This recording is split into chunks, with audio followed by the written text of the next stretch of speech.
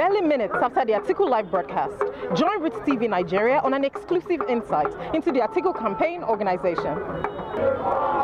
TV is live on ground at the Atiku headquarters, just moments after the live broadcast of Atiku's action plan. And I'm with Chiamaka. Now, Chiamaka, I can see a lot of crowd behind us. What are they chanting and what is their cause? They are here to show their support for Atiku and to tell Atiku that they are standing behind him as 2019 comes closer. Yeah. Now, you're here to do an interview, I suppose. Yes, I am. okay, tell me, just give us a little bit about the interview you're about to do. Well, I'm here to have an exclusive interview with uh, a representative of Team Atiku to talk to him about how excited the Atiku team is for the 2019 elections and to speak to them about their thoughts on the next level plan by Buhari. Okay, that is that is really great, and, and I wouldn't want to miss it if I were you. Keep the dial locked, and of course, we'll review to you in this exclusive interview what the Atiku campaign organization thinks about their policy plan, and of course, that of the incumbent President Muhammadu Buhari. Do stay. Roots TV exclusively speaks to Paul Ibe, Deputy Director Communications at Atiku Presidential Campaign Organization, on Atiku's blueprint for 2019 and Muhammadu Buhari's plans to take Nigeria to the next level. While some might say it is coincidental, in fact, just yesterday, the current Nigerian president, Muhammadu Buhari, released the blueprint for his own 2019 presidential campaign.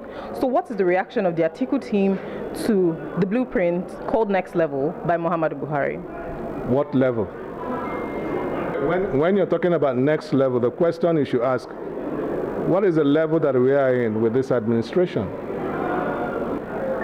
Obviously worse than the situation that we are in of joblessness, of hopelessness, of insecurity, of division, of bigotry. That's same of uh, we're getting same, you know, more, more, more of the same, and that is all we need at this point. We need a man who has a track record, a man with competence, a man with the required skills, to set us on the task of getting the best out of this country. We deserve better than we're, you know, we're getting under this administration. So if I get you correctly, sir, is the Atiku team referring to the next level plans by the current president as empty and referring to the president as incompetent? It's a next level of incompetence. It's a next level of uh, cluelessness. It's a next level of, uh, of joblessness. It's a next level of insecurity. It's a next level of bigotry. That's why we are set for, for another four years of this administration. Let us take the Atiku versus Buhari saga to the street. What does the average Nigerian think of Buhari and Atiku's blueprints? The streets of the Federal Capital Territory is literally on fire.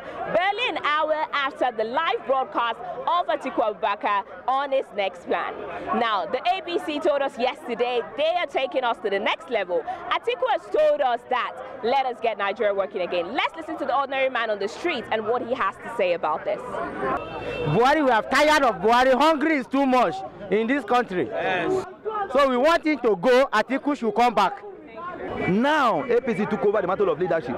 They increased the fuel to 145 naira. They increased dollar. They made dollar 165 to 360 naira. You cannot do anything now.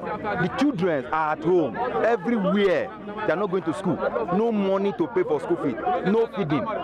But this time around, Nigerians said enough is enough. Let Atiku come. Let Atiku come. Articulate. People are hungry. We can mention and mention cases of corruption at this government. They are not prosecuting them. They're not arresting them. And others who believe they are taking us to the next level. Which next level again? Atiku has never. We don't know his father to be a rich man. We don't know his mother to be a rich man. He was a civil servant who worked as as a, as an uh, custom officer. And now today he is one of the billionaires we have in this country.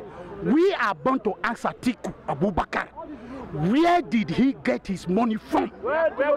We have heard from the Atiku team, and one thing is clear. The real power is in the hands of the Nigerian voters. On behalf of my crew member, Busayo Tosin, I am Chiamaka for Roots TV, Nigeria.